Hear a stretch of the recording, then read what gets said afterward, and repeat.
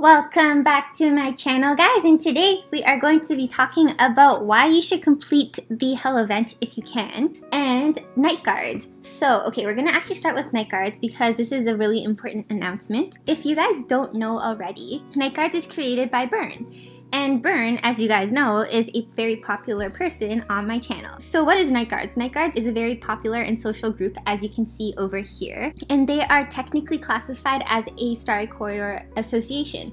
So that doesn't mean that you are going to join the association they have on Love Nikki because that's not what they have. It's basically just like a extracurricular type of group that you join to make friends and just basically bond over Starry Corridor posts and whatnot.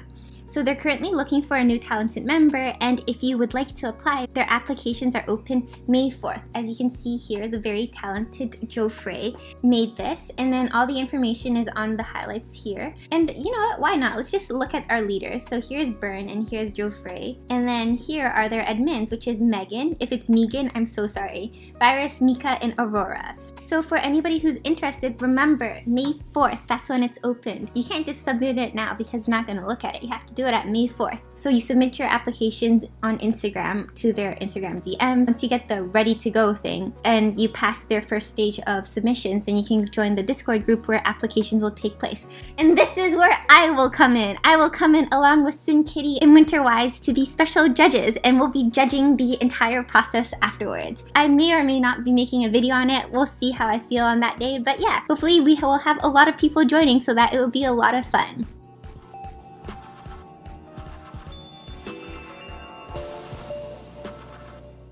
Before we dive into the video, remember to like, comment, and subscribe because it will help my channel a lot and I'll appreciate you guys a lot for doing so. Okay, so why should you complete the mermaid event? Again, only if you can and only if you do happen to like the suits. It is predicted that a stamina event is going to come. You can look at that video that I made recently. And the reason why you should start farming for it, this is like a really good way to farm for it because think about it. Not only are you going to get suits over here, you're going to get backgrounds coming with the Crimson Creek suit and the mermaid one. And you're also going to get a lot of stamina and you're going to get a lot of coins back. So that's something that's really great. And coins are going to be super important, especially if you're on chapter 19 because it requires you to build the assassin's outfit. And this outfit is so expensive. So yeah, that's why I started to do it. And I'm going to show you each one of the outfits to help you guys make an informed decision of whether you actually want to complete it or not. I'm actually going to go ahead and finish the mermaid outfit. I honestly really like the hair and I like the makeup and I guess like the dress is whatever to me because I already have a real mermaid tail from the WFSM, which I can show you guys afterwards as well in case you wanted to uh, compare the both of them. But I guess we're gonna go explore and just waste all my diamonds. I was honestly really upset because I was just one diamond away from 6,666, but we're just gonna grow up and forget about that. okay. Uh. It is actually sad. Okay, I'm so sorry. I'm gonna have to pause over here and go back to Instagram. I just wanted to put this out there. This is coming soon. So again, it's gonna cost from anywhere from a thousand diamonds to something more or less. It's just around the ballpark over there, depending on your luck. But yeah, I think I might even start doing this because I ran out of things to do in the uh, what is this called again? I haven't, oh, Dreamweaver. Don't kill me. I ran out of things to do in the Dreamweaver already, and I actually really, really, really love the evolved form of whatever this is. Okay, so let's continue with this. Uh, it hurts. I'm not even remotely close. At least I'm getting a lot of gold from this. And because I don't want to overshoot, I'm just going to go ahead and do um, how many more tries? Seven more tries right now? Yeah, I'm just gonna do seven more tries right now. Like, I have to tell you, like, it's really hurting my heart right now to just see it drop. But alas, this is the most worth it way to get stamina in case like that we have a lot of stamina events coming up and then you get a lot of suits and these are hell event suits that are the most worth it anyway. So that's why I'm doing this. I actually do like the suits, so don't get me wrong over there. It's just that I didn't plan to get it right now because I didn't want to spend my diamonds, but because it makes sense due to the stamina that we get. It, it just makes sense. By the way, like just a disclaimer, don't go doing this expecting that there's going to be a second stamina event. It's just predicted because uh, Shadow Fiend doesn't actually look like a event suit. We just think that there's going to be a actual real stamina event, so that's why I decided to get stamina in the first place. But if it doesn't come, don't come at me, please. Like I can't read the future. I'm just doing this based on my best knowledge. But yeah, I really love this hair. This is one of my favorite hairs of Love Nikki. And you get a background. I'm pretty sure this one's animated. Sorry, I have sushi in my mouth right now because I forgot to eat lunch. You also get like 60 diamonds back, so uh, that's not that bad. Mm, 100 diamonds. So let's start off with the mini suits that we have. Oops, let me put on the actual suit. Shiba and Croak is one of the suits that is um, given to us from this event. And there's a lot of intricate details to this outfit if you actually pay attention. So for example, there are little froggies on her headband and then her hair color is actually two tones. So at the very bottom of it, it's more of a teal that matches her outfit. You also see that there are two frogs. One is in the middle of her stomach and the other one is in her coat jacket as a pocket. If you want to see our little cutie pie Shiba over here, he's wearing a frog raincoat and then he's like a typical Shiba because he doesn't want to go wherever the owner is trying to take them. If you look on top of his head, you see that there is an adorable little little frog. Do you see the Shiba keychain on her umbrella? And also at the top of her umbrella is a crown. So these are the two makeups from this event.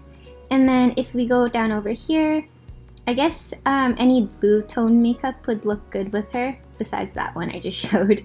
And then we can have any green tone that kind of works, but I think a more big eye type of uh, makeup would fit her more because she looks more childish compared to the other Nikki's. So this one I think works perfectly with her, especially with the whole aesthetic over here, plus it's green. I can show her how she looks like with different hair colors.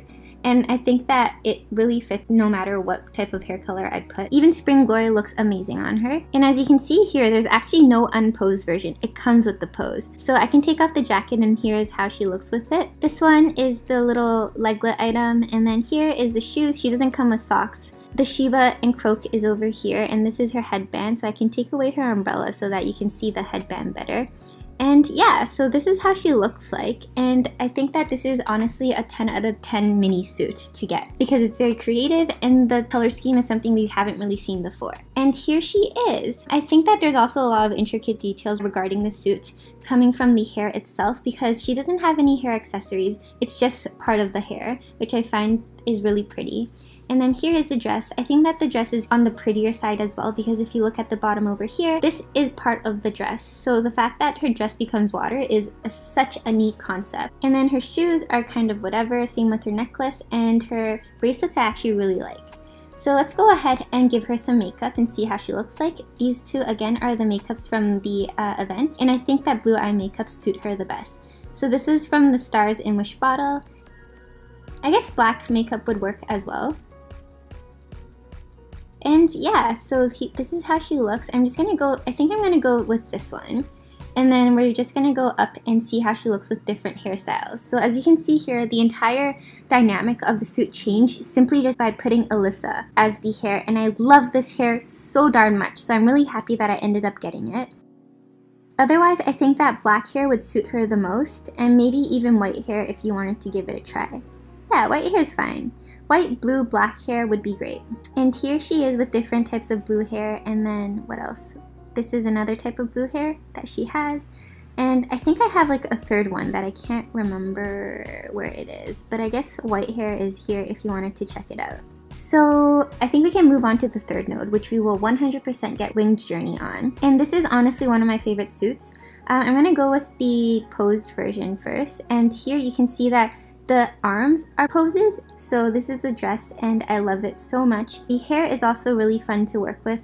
The makeup, not so much, but the wings are one of my favorite wings of all time. Like, it literally works with everything, and I like it a lot more than the angel wings that you can get from the pavilion. So I realized that there's like no posed and unposed version. It's just literally like this. I forgot, but yeah, we can go to the background and look at the background that is associated with this, which is Cloud Dream. I really, really love her, but let's go look at different makeups on her again. So I think that blue makeup is the easiest to work with We're gonna leave with this and then we can try out different types of hairstyles with her so that you can catch a feel of how much you'd end up liking her. Um, I think that blonde hair and white hair and maybe even pink hair would work well. Same with blue, blue would be fine as well. Otherwise, it's just easier to work with these types of hair colors because it just matches the theme more. But yeah, this is honestly one of my favorite outfits and I was so stoked when I got it on the third one. I thought that Love Nikki was so generous to put this on the third node. And I think that it's pretty affordable too because it's only 2,490 diamonds this time to afford all three of the outfits that I just mentioned. So let's move along to Crimson Creek, which is something I recently got. And her background, as you can see, is actually animated. You can look over here on the top corner, it's animated over there, and the stars are also animated. I love her hair and her makeup. Her shoes looks like little lady parts, which is really weird, but essentially the fishes and the uh, water around her, that's something I really like. And let's just take off everything side by side. This is how she looks with or without the little flaps over here. She actually looks a lot better than the goldfish duo that we had last time for the ranking event because I literally think she looks like an actual goldfish, especially with these ears. So if you're down to do something Starry Corridor related, these ears are great for that. Same with the hair, um, we can go ahead and just change up the makeup. I think any makeup would really work with her. It doesn't necessarily have to be blue eyes this time because she has a lot of different types of colors with her. So even this red kind of works. Green, eh, it's whatever. Yellow would work too. Blue, fine, that's great. This is how she looks like with more makeups and there's nothing else that I can really put on her for you guys to see. So we can move along to the last one, which is the mermaid node. So this is the pose, which I really, really like because it's only like the bracelet item or whatever item it is. You don't have to work around the entire outfit because it's not the entire outfit, that's the pose. So that's one thing I appreciate a lot. Here are the bubbles that I also really like necklace, the little back part, and her hair. So her hair, again, is one of my favorite aspects of this outfit. She works with a lot of things, especially this one. And this one we got from the Snow Trail event. No, Snow Trace event. I'm glad I have a lot of blue makeups at the top so I can quickly scroll through them and let you guys see. But yeah, again, look how beautiful all these makeups look on her. So I'll keep it with this one and then you can see her with different hair. I'm sure you guys wanted to see her especially with the blue hair that we got from the snow event and maybe even the star one. So this is the star and wish bottle and then here she is with the blue hair and without the blue hair. And again, I'm sure you guys are dying to see her with an actual mermaid bottom. So let's go ahead and find that. Ta-da! This is how she looks.